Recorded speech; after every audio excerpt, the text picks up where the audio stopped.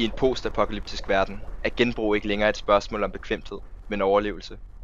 Produktionen er lammet, pengesedler er ikke mere værd end det stykke papir, de er printet på. Mad og materialer er den nye valuta. Vores mission er at tilpasse os den nye verden. Vi har taget rationerne i brug. Vi lever af dåsemad og dåseøl. Genanvender de materialer, der er til rådighed. Ødelagte pavilloner bliver til borer. Præsending bliver til tasker, og dåser bliver til kommunikationsapparater. Pengesedler har ingen værdi. Glæden, den findes i et min. Vi skal lave fællesskaber, der binder. Vi skal afsted og skabe gode minder. Kom og fest med.